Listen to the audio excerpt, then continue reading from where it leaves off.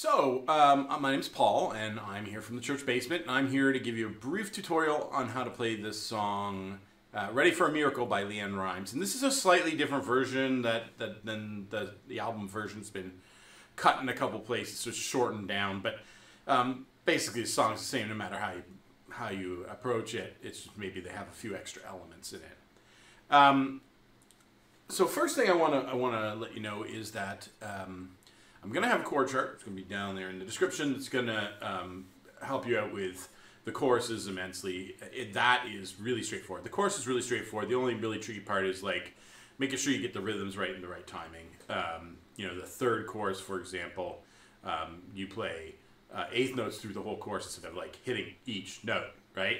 Um, but other than that, like the courses are, are bone easy. Uh, so the only part that's actually even remotely difficult is is the verse part because that's not really on the chord chart. So figuring it out might be might be a challenge if you're like me and you have trouble just like listening to a part and figuring out exactly what the guy's playing.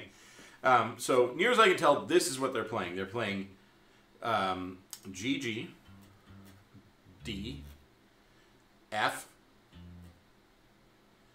and then C C E F. So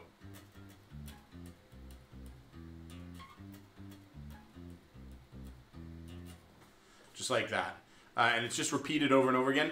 Now, each time they come out of it a little bit different. So sometimes you don't play that whole thing, you just play the. And then you go. Or. Depending on which which one you're coming out of. Um, the second time you do, you play that verse, you actually play the whole phrase with. And then it goes into the into the next course. So there's no like coming coming out of it the second time. So um, that makes it a little easier in terms of like not having to figure out which which pattern you're on in the middle of the heat of it. Um, so really, like honestly, that's the whole song. It's basically got it's got that that uh, verse part, and then it's got the chorus part, which is pretty straightforward. The only other tricky part is just sort of getting with the rhythm. But you know, I say give it a few uh, a few tries, you'll pr- pretty much pick it up right away. Anyways, uh, I hope that's been helpful. Um, yeah, so um, I'd, normally I'd point up here and say, hey, go watch the live version, but I, I, played this one at our East Campus, so there is no live version from the East Campus.